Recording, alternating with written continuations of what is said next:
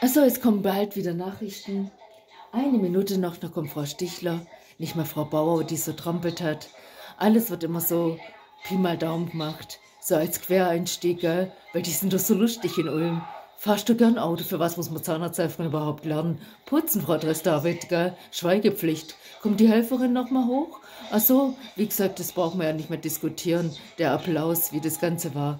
Du musst gleich eine Therapie mitmachen bei allem drum dran und da wollen die Neurologen auch noch Geld kriegen, wenn sie in der Sendungen drin sind, gell? Oder wer redet hier mit? Ach so, ich möchte noch mal was Neues in meinem Leben machen, außer Dreck weg, gell? Ach, du gefällst der Partei im Rentner so arg, weil ich schäme mich so mit der Frau Igner. Jetzt kann sie ja wieder zeigen, dass sie was gelernt hat. Witwe zum Sein, ein Leben lang, gell? Es ist so lustig, wie Sie hereinreden. Verstehen Sie Spaß? Frau Gelzer, Sie brauchen zu mir nicht mehr kommen. Sie haben ja eine Tochter, die noch was Leben vorhat und meine Bewerbung nicht annehmen. Vielleicht sprechen die Bankautomaten wieder, gell? Viel Spaß wieder, hier ist Frau Stichler. Ja, verstehen Sie Spaß? Ich schon lange nicht mehr. Barbara Schöneberger ist ja so witzig, gell? Lass Ski. Ach, lass Ski. Oder Howard Carpenter oder wie sie alle heißen. Die haben ja ihr Vergnügen.